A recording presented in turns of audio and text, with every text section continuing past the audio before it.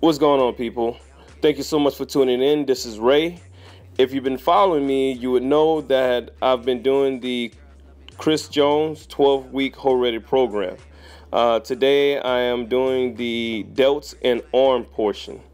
I originally started off with some uh, warm up sets with the uh, bent reverse dumbbell flies. However, we had some uh, guys that was goofing off a little bit too much in the gym to where it didn't look good on the camera, so I didn't put it in here.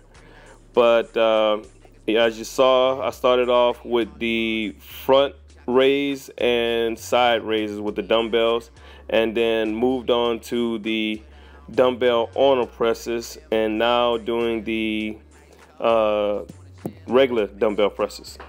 So I just kept on going heavier and heavier in weight, and you know, taking as less rest time as possible.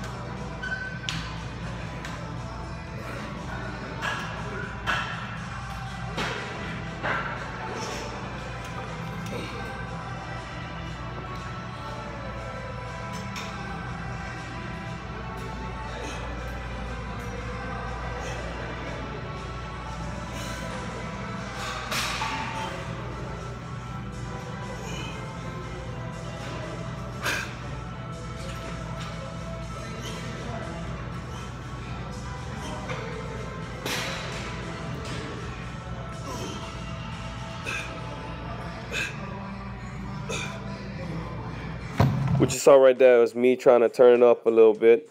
So I decided to do a tricep and uh, use the straight bar upright rows and then immediately sat down with the dumbbells and did arnold presses. Uh, do did arnold presses till damn near failure, then started knocking out regular dumbbell presses. I neglect my shoulders so much because I have so much shoulder pain I decided to go ahead and just pump as much blood as I can into them.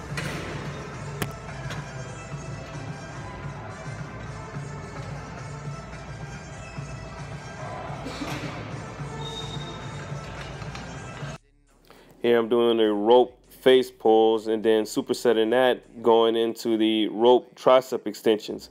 Uh, as you see, I have weak triceps. They really, really don't have that horseshoe. Uh, so I try to put a lot of punishment on them. Probably not as much as I need to, but uh, I kind of have a whole horseshoe in my triceps. That's only if the light is just right and I tilt my arm at an angle and you squint your eyes a little bit and the, the stars are aligned, you can kind of see I have a whole horseshoe. Other than that, on a regular basis, my triceps looks like a question mark.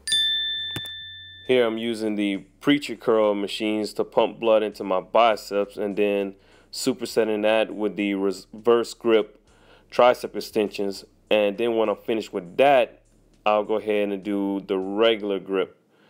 Like I said, I try to focus and put as much punishment on my triceps. I'd like to thank everyone for watching my videos. Please follow, like, subscribe, share, comment, and let me know how I'm doing. Thank you so much. God bless.